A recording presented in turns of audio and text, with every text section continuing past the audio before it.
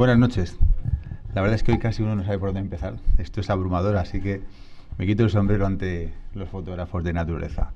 Esforzados y, muy técnicos, desde luego, sin duda. Bueno, eh, hoy vamos a hablar de, Ansel Adams. Supongo que algunos estén esperando el momento. Ya toca, creo que ya toca.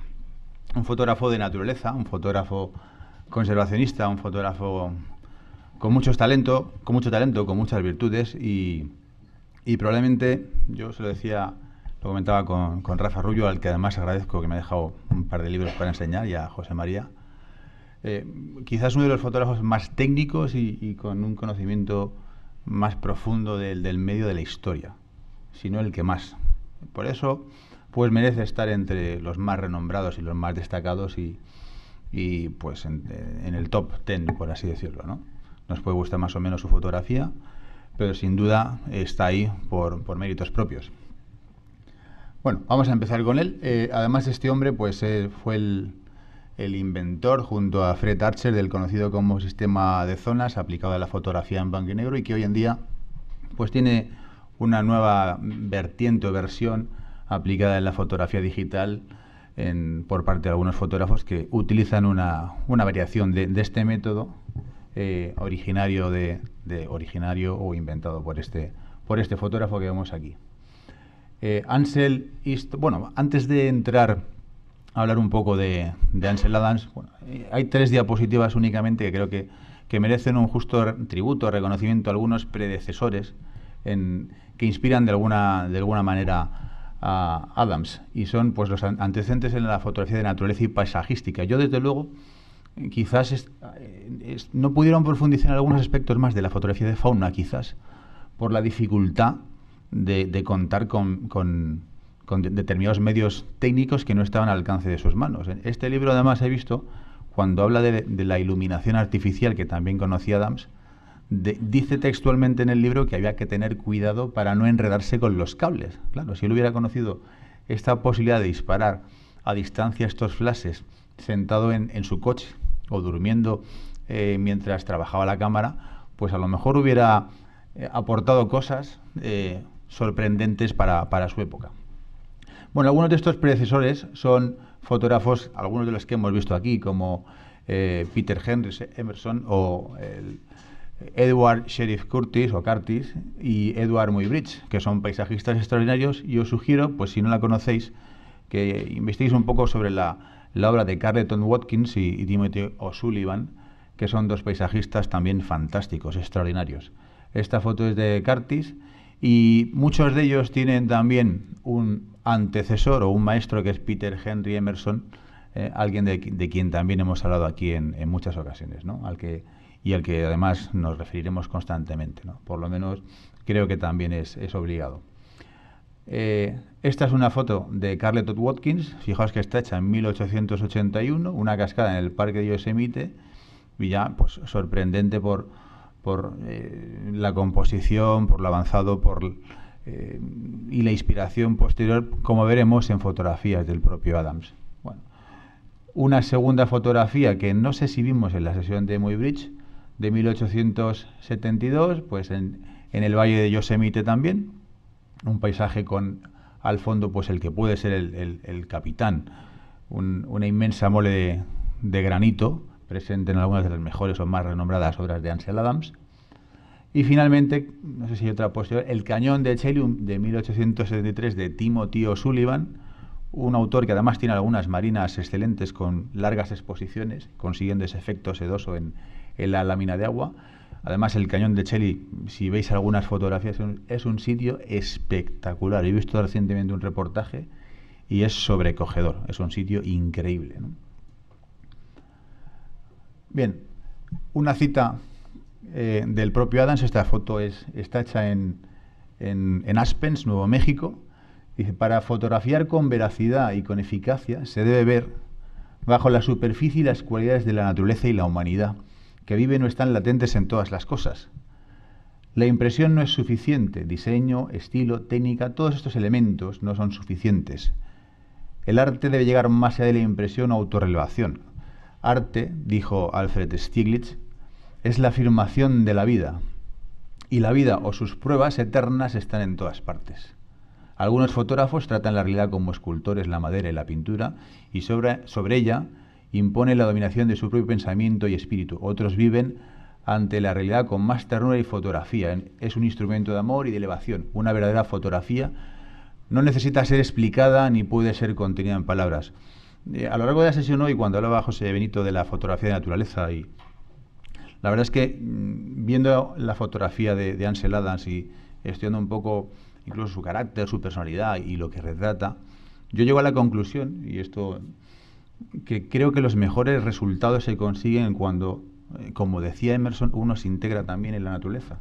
Cuando, eh, y a mí me ha pasado dos veces en la vida, por lo menos me ha pasado dos, cuando estás allí y, estás viendo ese instante en el que estás esperando que, la luz ilumine algo que tú ya tienes compuesto y visualizado, como decía Ansel Adams, y una de esas veces fue pues en el arrecife de, de las sirenas donde yo estaba esperando con el trípode plantado. A lo mejor me fui con una foto sola, nada más. Pero eh, yo creo que los mejores resultados son cuando sientes que formas parte de tu entorno y te olvidas incluso de que estás haciendo fotos. A mí me ha pasado. Y esa es una reflexión, pues, fruto también de esa pregunta que el señor Benito nos hace a todos y que uno se va preguntando, que es por qué haces fotografías y, y poco a poco lo voy a ir descubriendo, ¿no? Es decir, yo creo que es importante, ¿no? Es la fotografía es algo más, no solo, no, solo es disparar, ¿no? Y yo creo que el fotógrafo de naturaleza y el de fauna y el de paisaje, creo que alcanza algo más, algo más. Por lo menos esa sensación que percibo yo, ¿no? Bien, seguimos. Pues este es Ansel Adams, eh, un señor con una biografía apasionante. Eh, nace en San Francisco en 1902. Eh, en 1907, además, se sufre, o en 1906, con cuatro años, el terremoto de San Francisco. Él vive en lo que es el Golden Gate, que es la entrada a San Francisco, tiene fotos del Golden Gate, es decir, de la puerta dorada de entrada a San Francisco, antes de que esté construido el puente. Con lo cual podemos ver el antes y el después y un documento también, además una fotografía documental. ¿no? Con 13 años, su padre le proporciona un tutor porque parece ser que era un hiperactivo, era una persona con un muy inquieto, fue yendo de colegio en colegio hasta que finalmente su padre de una forma, pues quizás muy arriesgada, decide que complete su formación en, pues en casa. Le pone un tutor y es más, él le permite, eh, con motivo de la exposición, eh, creo que es en 1915 aproximadamente, de la, de la apertura del Canal de Panamá, durante un año le deja ir a las exposiciones permanentemente y empieza a conocer la obra de, pues de Picasso, de Manet, de Monet, incluso dos fotografías de Edward Weston y es incluso eh, de, una formación bastante autodidacta, hasta el punto que empieza a ser pianista también, pero de una forma también en la que él explora en un viejo, en un viejo piano que estaba en su casa, empieza a los 12 años a tocar y a aprender por sí mismo. tiene un talento increíble. Yo creo que esas virtudes, esas cualidades musicales también, eh, bueno, no lo creo yo, es que además está demostrado. y la paciencia que tiene durante, durante más de 10 años dedicando 6 horas diarias al esfuerzo musical, le permiten después tener esa paciencia y ese saber estar ante, ante, esos, ante esos espectáculos de naturaleza tan fantásticos que no le sobrecogen y es capaz de actuar con serenidad, con paciencia, hasta conseguir la fotografía que él busca. ¿no? Eh, un momento también clave en su vida es en cuando viaja por primera vez con 14 años al Valle de Yosemite con una Kodak Box Brownie y ahí se juntan sus dos pasiones, la fotografía y el paisaje, la naturaleza, la conservación. Y empieza a cambiar su vida. Él iba a ser concertista de piano, un fantástico concertista. Seguramente eh, la platea se, perdió un magnífico intérprete, pero ganó un fotógrafo fantástico. Y a partir de ese momento empieza a viajar todos los años al, Valle de Yosemite y se integra en el, en el conocido como Sierra Club. Eh, yo os invito a que veáis, hay muchos vídeos, unos cuantos, esta mañana creo que lo he visto casi todos, de Ansel Adams en, YouTube. Y particularmente hay un documental que está hecho por eh, Bimon Newhall y Nancy Newhall, que son curadores del, MoMA, eh, donde el propio Adams eh, toca el piano en la pieza de Bach y se ve cómo hacía fotografías. Eh, algunas de sus, de sus mejores obras son fruto incluso de duras ascensiones, algunas, algunas cimas imponentes, con lo cual pues eh, tienen todavía más mérito en, ese sentido, ¿no? Bien.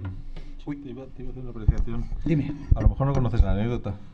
Pues imagínate, Ansel Adams que llega, reúne a su madre y a su tía para comunicarles que ah. deja el, deja el piano, ¿no?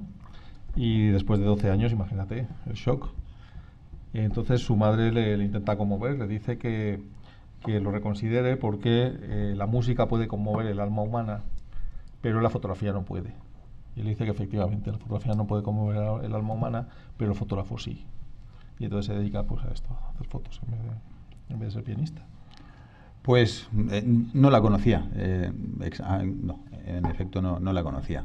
Eh, bueno, en su carrera además se cruza con personajes extraordinarios. conoció a, Weston, conoció a Alfred Stieglitz en 1933 y expuso sus trabajos en la Galería 291 en, en Nueva York.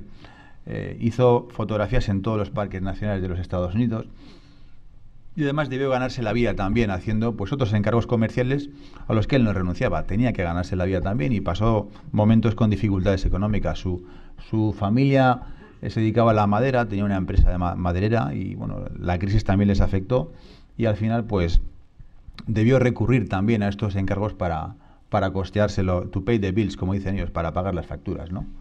Así que realizó trabajos para Fortune, Life, etcétera, ¿no?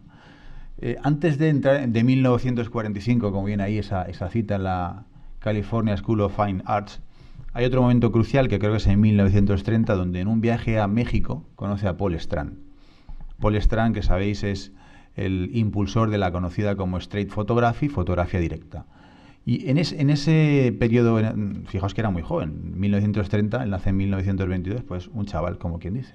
Y viendo un portfolio de Strand, él conocía la, sobre todo la fotografía pictorialista, incluso había trabajado como lo que llamaban en aquellos momentos, que era algo así como Dark Room Monkey, que es mono de laboratorio, revelando, revelando y revelando y revelando.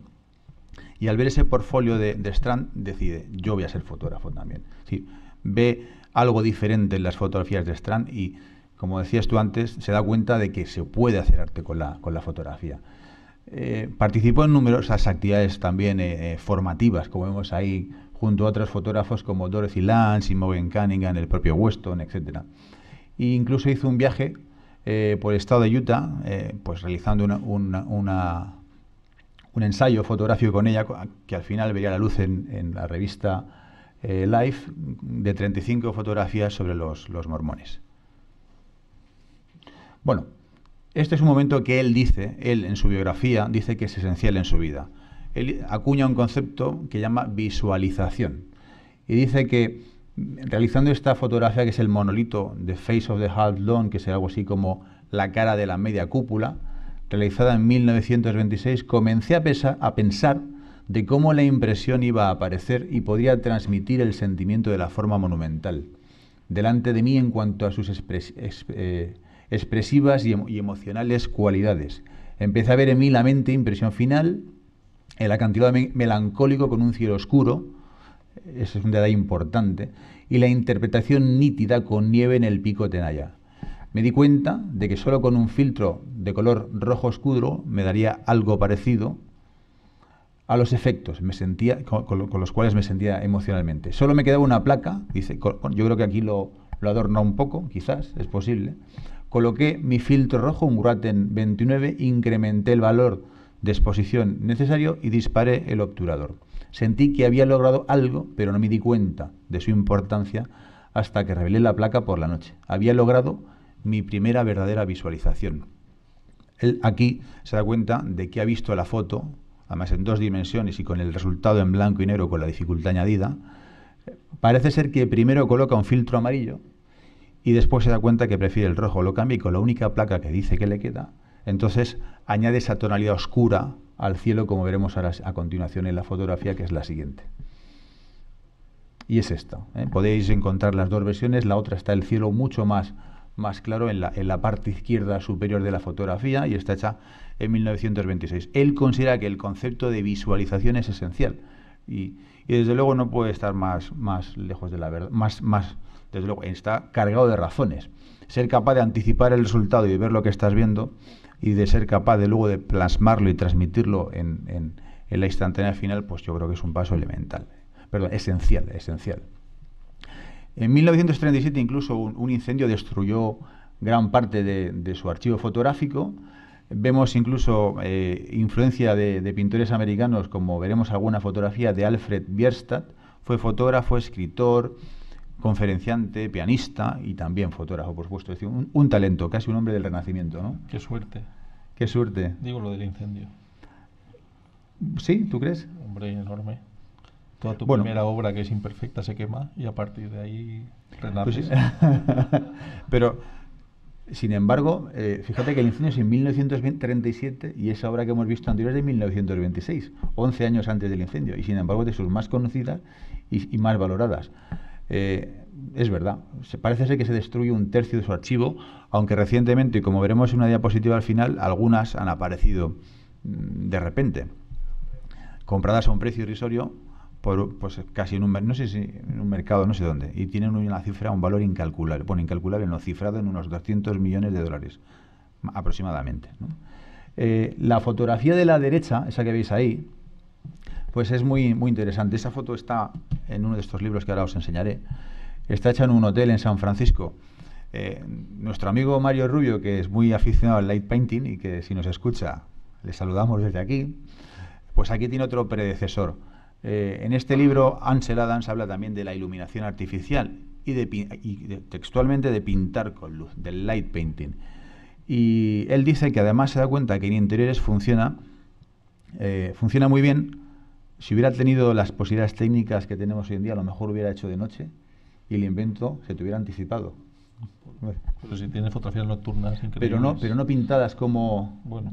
A eso me refiero, ¿no? Porque aquí en esta foto que vemos, él él mismo y un ayudante pintan, iluminan la escena recorriendo la habitación y pintando con flashes, por, perdón, con flashes no, con iluminación, con luz continua y con unos cables que no se ven en la escena y además seleccionando, como era muy conocedor del sistema de zonas, aquellas partes de la escena donde podía aportar iluminación sin quemar las zonas más blancas, las altas luces como vemos. Es decir, en una cuidadísima eh, puesta en escena, sin duda, dada la complejidad de la fotografía como veis ahí por, por ese contraste entre las altas luces y, esos, esos tonos tan oscuros de la barra del bar. ¿no? Con lo cual era un maestro también en la iluminación artificial. Eh, bien, eh, fue conocedor también de un grupo de fotógrafos extraordinarios con los, que entabló amistad y al final pues forman este grupo, el F64, conocido por su impulso de la fotografía directa, con el foco nítido que proporcionaba esa, apertura tan pequeña del, diafragma. Entre ellos están, pues como veis ahí, Ansel Adams y Moen Cunningham, eh, hasta mm, donde dice Consuelo Cananga, son los fotógrafos que veis ahí puestos de izquierda a derecha y se corresponden con ahí. De tal manera que Consuelo Cananga es la que está en, el, en la esquina inferior derecha y el propio Adams arriba a la izquierda.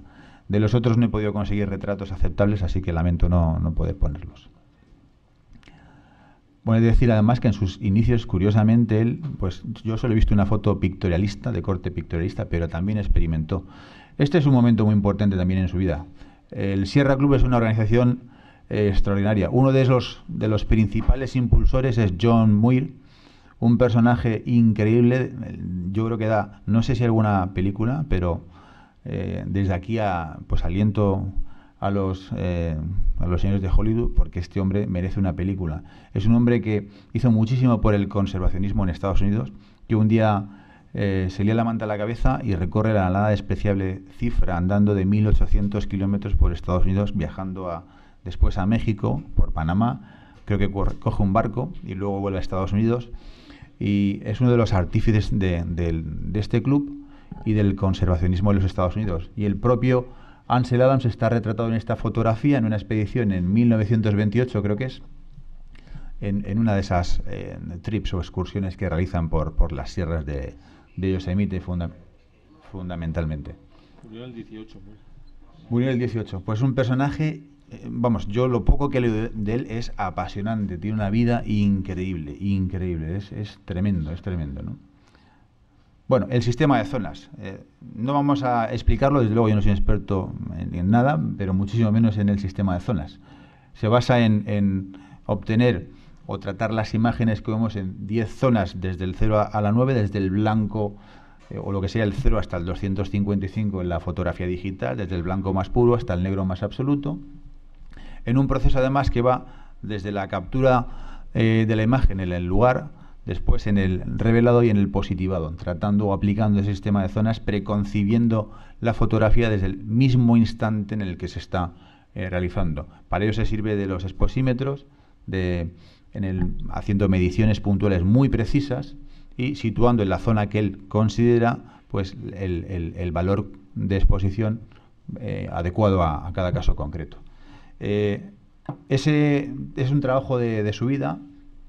Pasamos a la siguiente, que se condensa en esta trilogía, que es la cámara, el negativo y la copia, que os invito, si queréis, a echarle un vistazo y os dejo por aquí. Son estos tres libros, que están traducidos al español, aunque creo que el negativo es el negativo.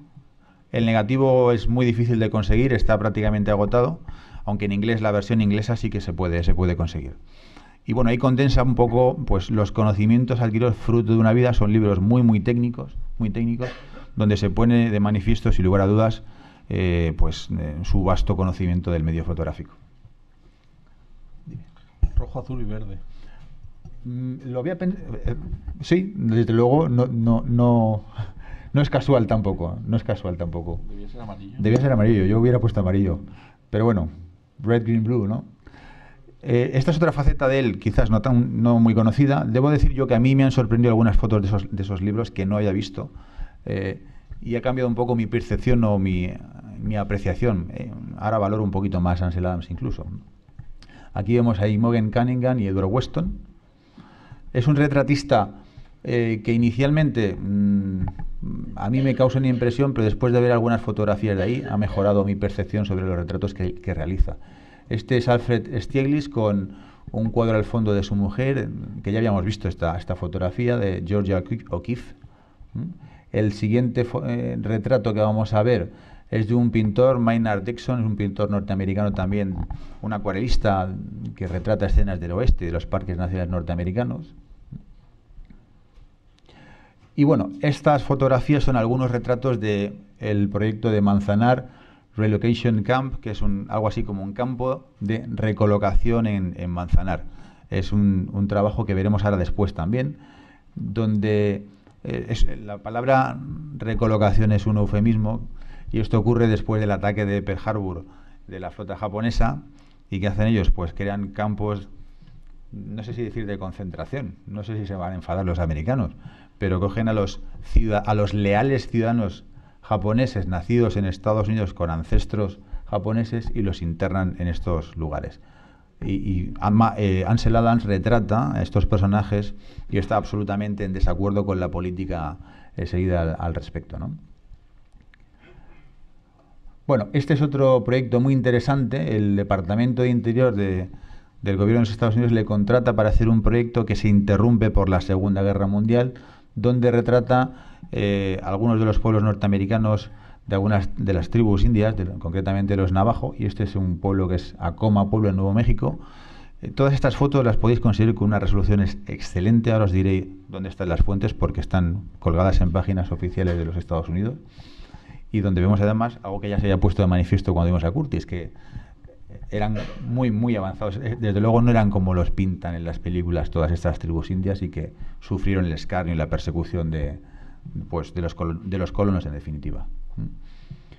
Eh, esta es mm, la web de los parques nacionales, de los archivos, y bueno, aquí podéis descargar algunas de estas fotografías que os he comentado, bastantes, no sé si son unas 80, 90, incluso más fotografías, eh, con una resolución más que aceptable.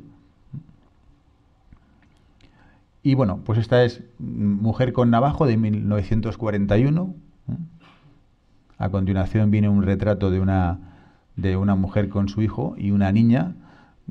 Además, fijaos que con las cámaras que disparaba, bueno, él utilizó en su equipo, en ese vídeo que os he recomendado, en ese film de, de su biografía que podéis ver en YouTube, se ve todo su equipo y utilizó fundamentalmente cámaras de gran formato con placas de 20 x 25, con lo cual el negativo que tenía era impresionante, ofrecía una calidad, unos detalles tremendos. Pero también utilizó Polaroids, incluso una Contax de, 35 milímetros. ¿no?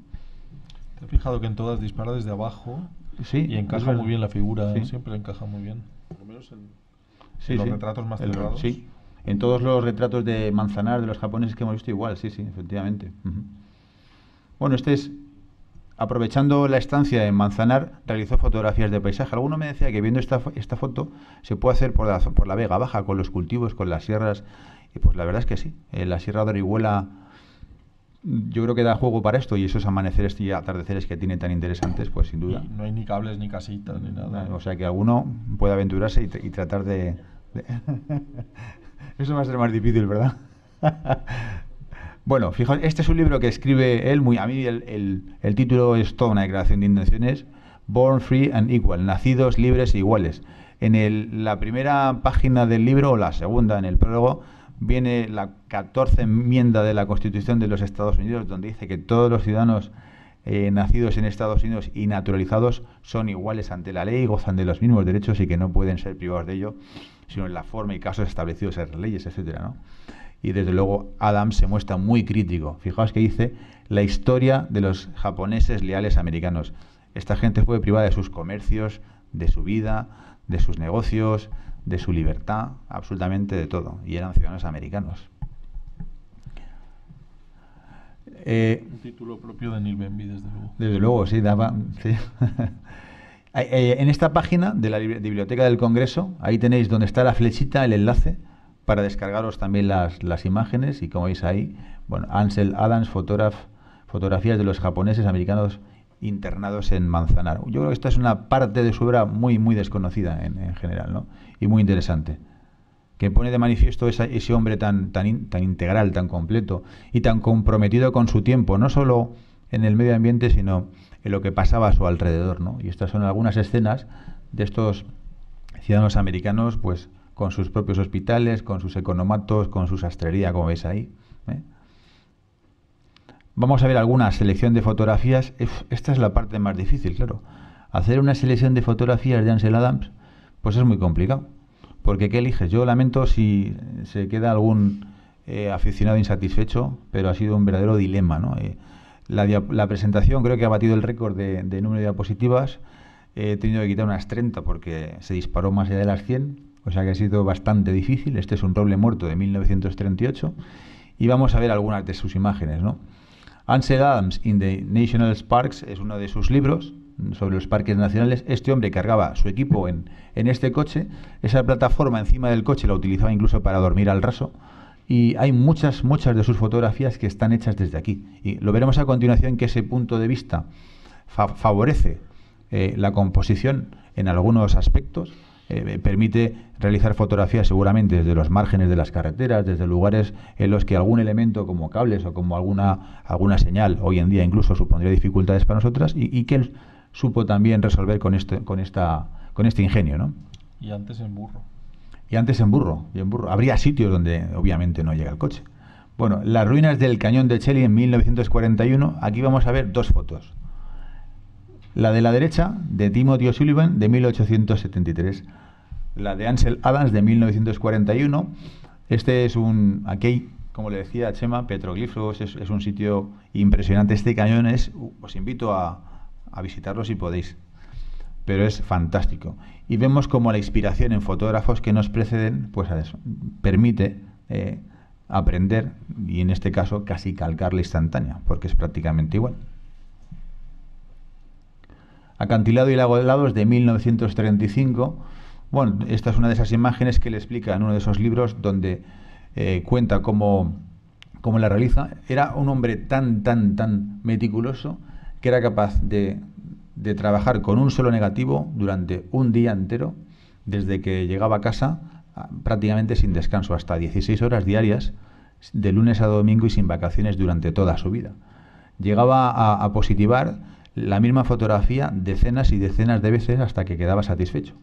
Eh, el 40% del trabajo dedicado a una sola fotografía era en el cuarto oscuro. Y a mí me ha llamado mucho la, podéis ver los vídeos porque es interesantísimo verle trabajar. Él utilizaba un alambre en el que ponía una cartulina en la punta eh, con forma circular o ovalada para trabajar con las, con las reservas.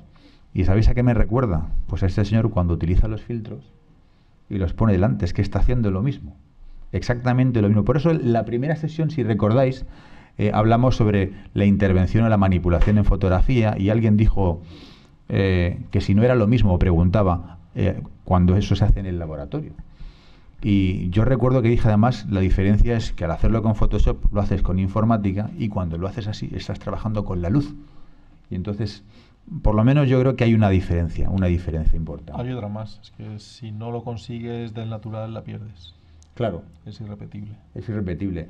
Y, y, desde luego él no podía hacerlo. El estado de la técnica no le permitía hacerlo in situ.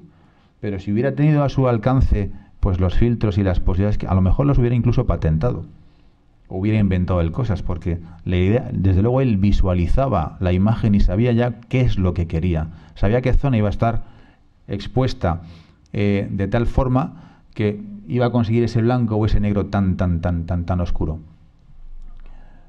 Bien, en las montañas, este no es Ansel este es un pintor americano que se llama Albert Biestad y este, fijaos, 1877, este paisaje con esa dimensión, con esa grandiosidad, eh, con esa luz, con ese grado de realismo.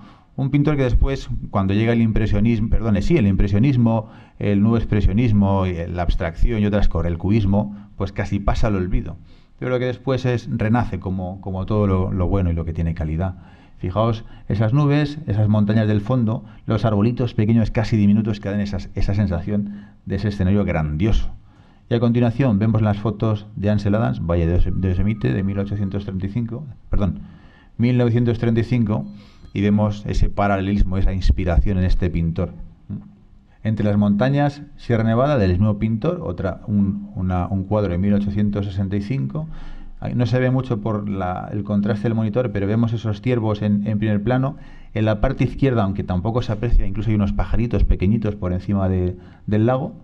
Y bueno, otra escena con una composición que inspira nuevamente a Ansel Adams y, lo podemos ver en alguna de sus obras a continuación, por ejemplo. Claro en la tormenta de invierno en el Valle de Yosemite de 1942, otra de sus fotografías más conocidas.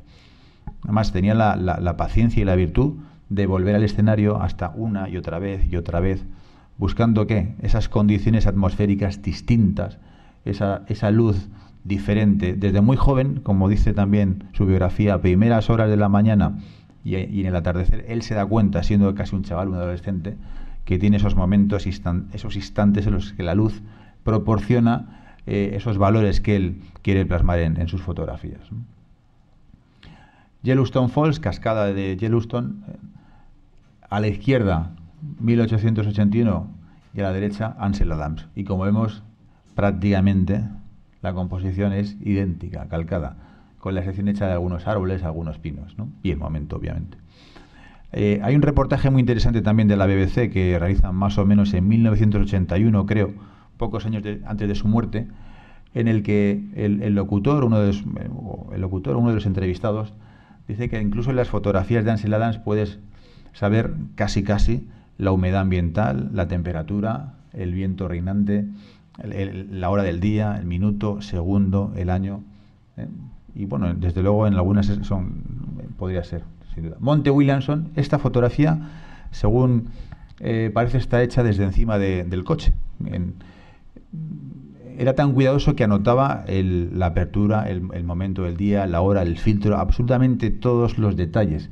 Y al realizarla desde encima del coche, precisamente le permite conseguir eh, alcanzar esa perspectiva y esa sensación de profundidad, si, si, si, hubiera sido a ras del suelo, pues esta roca tan grande, tan imponente en primer plano, pues casi con toda seguridad hubiera impedido ver el resto de esas rocas que casi parece una lluvia. A mí, desde luego, me sorprende eh, estos fantásticos, o este casi de pedregal, ¿no? Parece algo irreal, ¿no? ¿Cómo han llegado hasta ahí? Me pregunto yo, ¿no? Eh, podéis incluso hasta localizar un fotógrafo que ha vuelto a este sitio, no recuerdo el nombre, y ha hecho esta misma foto en el mismo sitio y están las mismas piedras, pero en idéntica posición. Algo sorprendente, sorprendente. El Capitán y el Cascada en Yosemite en 1946, dos imágenes también pues espectaculares, fijaos esos, esos cielos tan negros en la fotografía de la derecha. Amanecer invernal, Sierra Nevada en 1944 Bueno, donde aquí vemos, fijaos ese caballito en esa escena donde seguramente el fotógrafo eh, se ha plantado esperando ese momento en la, en la que algún claro en el cielo o algunos rayos iluminan esa zona concreta, que además seguramente él visualiza y además probablemente esa zona está más expuesta que el resto. Habrá hecho algunas reservas en el cielo y en las montañas, de tal manera que incluso utilizaba unas cartulinas. Si debéis trabajar con cartulinas y con mientras está exponiendo, es tremendo en el laboratorio. Las maneja con una rapidez y es sorprendentemente habilidoso y técnico. Aspens en 1946. Bueno, esta fotografía y otra que viene después, que la podemos poner porque el motivo es muy, muy similar, creo que viene a continuación. Pásala. Esta es una de mis favoritas. Eh, él cuenta en, uno de esos vídeos que he visto yo que ese formato precisamente de 20 por 25, estas fotos ampliadas permiten ver en las hojas hasta los, agujeros y los bocados de los gusanos. Fijaos hasta qué punto la nitidez que conseguía en las imágenes y lo perfeccionista que era. Bueno, esta es otra de las partes más desconocidas seguramente de, Ansel Adams. Él trabajó en color, no le producía las mismas satisfacciones que el blanco y negro. Eh, a diferencia de, de Haas, como vimos, que manejaba ese proceso del dye transfer, de la transferencia de colorantes con esa habilidad especial, él no se dedicó en especial a, este proceso, pero sí tuvo eh, intentos y finalmente se decantó por el blanco y negro porque le producía más satisfacciones. Vemos cómo se repiten los motivos y las composiciones de algunas de sus obras precedentes de años anteriores, y, fotografías que son muy vigentes también, como, como veíamos también y como comentábamos en la sesión de Ernst Esta es una iglesia de, México que está retratada también o fotografiada por Paul Strand en algunas de sus fotografías. Él también tiene algunas en blanco y negro de esta iglesia. Si queréis ver algo más de sus fotografías en color, aquí hay un libro que se llama Ansel Adams in Color, que es este que podéis conseguir que yo no lo he visto publicado en español. Eh, en su propia web podéis ver algunas fotografías y en ese link de la o en la revista no, he puesto el vínculo pero no será difícil en la revista Time tenéis una selección de unas 20 o 30 fotografías más en color que podéis podéis ver ¿no? él fue incluso portada en los últimos años de su vida fue todo un personaje muy célebre muy popular era el único fotógrafo que parece ser era capaz de coger el teléfono de, de la Casa Blanca y que le pasaran directamente con el presidente de los Estados Unidos eh, un año antes de morir le dieron la, pues, la medalla del Congreso, que es la más alta distinción que se concede a un, a un civil eh, por el presidente de los Estados Unidos. Eh, fijaos, este es un descubrimiento, Ansel Adams fotos descubiertas en un garaje, y dice algo así como, el comprador pagó 45 dólares por una colección estimada en 200 millones de dólares. La semana pasada comentábamos aquí que nuestro amigo Gabriel Brau compró un libro de Cristina García Rodero también a un precio muy económico y estaba valorado pues en, en, mucho más de lo que compró, pero esto es como 200 veces más, ¿verdad? Es tremendo. Bueno, esa foto que veis ahí además, donde el propio Adam se está posando, es una de sus más conocidas. Él dice que es la foto por la que le han preguntado más veces y sobre la que cuenta la anécdota en, en su página web de cómo se realizó. La vamos a ver a continuación también, un poquito más adelante. Esta es la galería de, de Ansel Adams, donde podéis comprobar alguna fotografía incluso original que están sobre los 1.500, 2.000 dólares, las reproducciones están sobre los 129 dólares, creo aproximadamente. Y bueno, pues tenéis una gran variedad de, fotografías a vuestra disposición.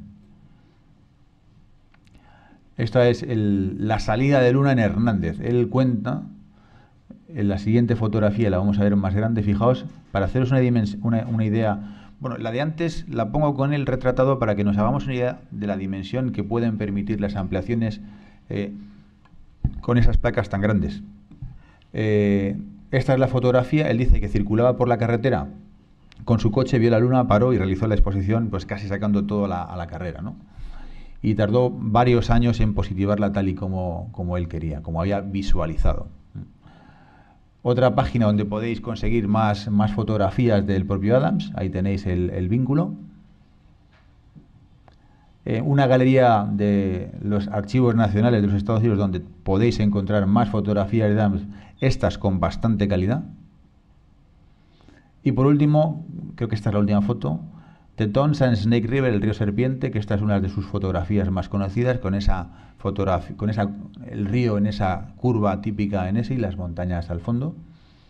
Y la misma versión en color años después, prácticamente la misma fotografía, la misma fotografía.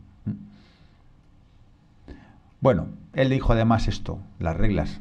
Volvemos sobre las reglas. Las llamadas reglas sobre composición son, en mi opinión, inválidas, irrelevantes e inmateriales. No existen reglas para las buenas fotografías, solo buenas y malas fotografías. Y este es Ansel Adams con esa fotografía del monolito en el año 1982, creo que es poco antes de morir. Y con esto pues hemos acabado por hoy. Muchas gracias.